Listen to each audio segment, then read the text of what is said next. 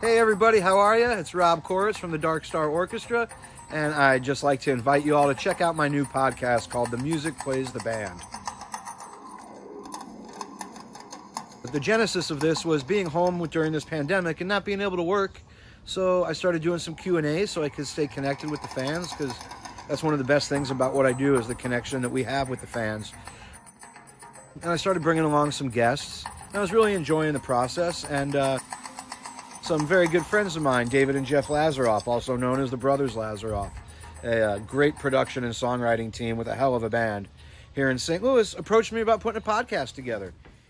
Each episode will have a feature, long form interview of me talking with some of your favorite musicians from the jam band world and beyond about how they got turned on to the dead and how it has influenced their careers. The first episode features my bandmate Rob Barraco, who has been playing with the surviving members of the Grateful Dead for the past two decades in addition to playing keys for DSO. But tell me how you got into the Dead and how and when you started playing Grateful Dead music. So, I was 14. I was sitting in the living room of uh, a friend who eventually became the bass player of the Zen Tricksters, Cliff Black. He picked up an acoustic guitar and just started playing this tune. And I sat there, I was mesmerized. And when he was done, I was like, what the hell is that? He goes, oh, that's sung by the Grateful Dead. Our second episode features jam band hero Keller Williams. Do you remember the first Grateful Dead song you played? Uh, it's probably Bird Song.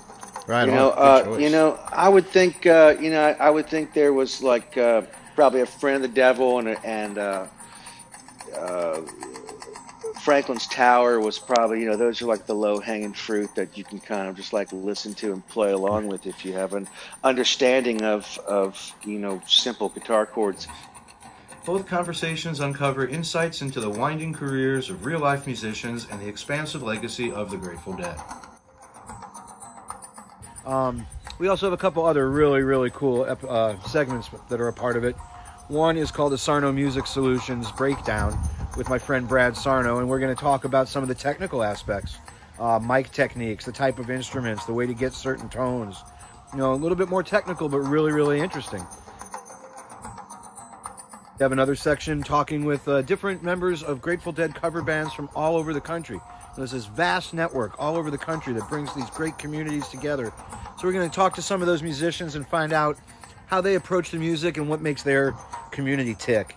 And then the last section I'm really proud of is called the Black Music Moment, where we're going to take some time and just look at the immense influence that black music has had, not only on the Grateful Dead, but all of American music. So we're going to dig in and listen to some uh, not so well known black musicians who had an influence on the Grateful Dead, and then some others that you, that you may know, but may not know their connection with the dead. So I'm really excited about this. I really hope you all come along. It's called The Music Plays the Band, and I can't wait for you to check it out. Thank you all very much.